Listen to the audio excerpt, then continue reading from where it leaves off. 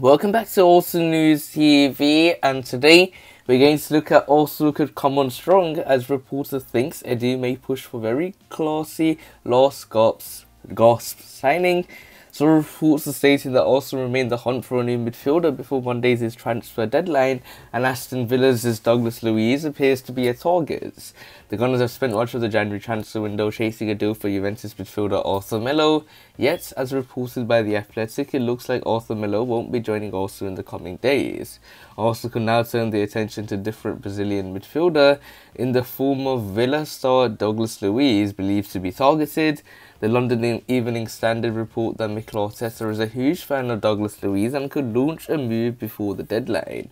Arteta was at Manchester City when Luiz was owned by Pep Guardiola's side and seemingly hasn't forgotten the midfielder. It is understood that Villa have already rejected a £30 million bid from unnamed Premier League club, which is an Arsenal. Still, with Arthur Melo unlikely to join and Arsenal still crying out for a midfielder, it wouldn't be a surprise to see the Gunners make a bid.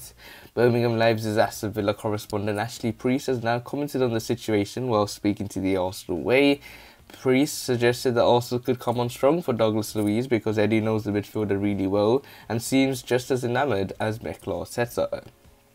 Preece noted, as quoted by Football London, that Douglas Luiz is actually available because he won't sign a new contract and Steven Gerrard knows it.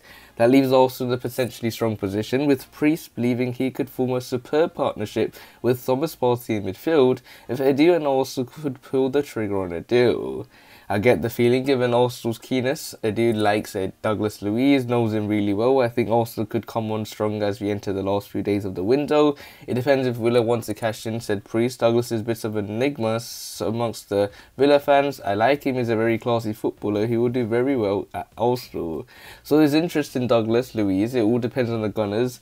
If they step it up and go in hard to get him, he's available 17 months of the deal and he won't sign a new one, Gerrard told me last week. The ball's in Arsenal's court if they come in with an offer. It'd be sad to see him go if he does leave because I've been told he's settled with Birmingham.